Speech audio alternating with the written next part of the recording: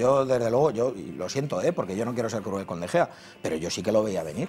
Yo sí que lo veía venir. Ha tenido cinco apariciones, en las cinco ha estado mal. En todas. En una nervioso, en otra falla por alto, que es su punto fuerte. En otra el balón se le va, en otra no bloca. En la que viene no sale. En el gol está ahí mirando cual estatua de sal. Le echan, aquí todo el mundo es especialista en culpar a la gente. Eh, todavía tengo que estar escuchando por las redes sociales a gente que le sigue culpando a Juanfran de la muerte de Jesucristo.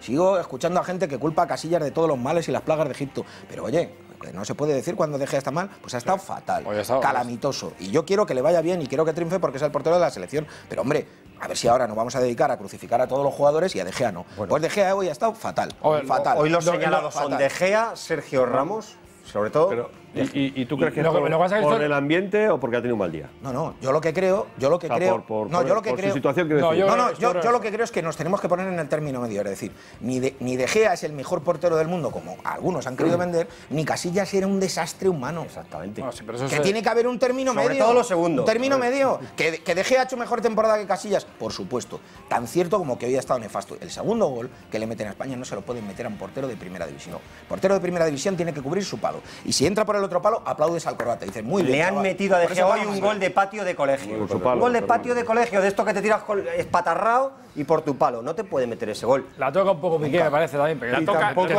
la toca tampoco- un poco tampoco- Piqué y la desvía, no. pero bueno, Sí, bueno. de cualquier manera no le pueden meter ese gol. No, y por lo demás, para mí, salvo el fallo del primer tiempo, que el balón pega en el larguero y bota fuera y tal, para mí después no está tan mal, porque Ah, incluso ha tenido una, gol- el ha tenido salida más por alto muy buena, en la marca ha tenido que- otro despeje que después lo ha desviado con la pierna, es decir, que para mí calamitoso no ha estado. Lo que pasa es que el tema de los porteros no ha estado- te has- luego- te has tragado el le meten ese gol a Casillas y lo matas Sí, pero- pero- Lo pero- pero no puedes re- no no ahora. un pase de pie que casi le hacen un globo. No que puede- eso pero eso no te lo- puede dar pie a no. Casillas. Bueno, no- ya, no pero, pero, pero, pero, oye, eh, vamos, yo me quedo con la reflexión de Rubén. Es que Casillas no era un desastre tampoco. Si eso no lo ha discutido nadie. El- Aquí hemos dicho que no. Ah, No, se ha hemos dicho que no, Casillas que está mejor De Gea que- enchufe o está hemos no, no, dicho no, muchas que cosas. Está mejor de Gea que Casillas en la temporada, eso es, eso es una obviedad, o sea, está clarísimo. Ahora que, que si Casillas ha salvado esta selección mil veces, o sea, Oye, no-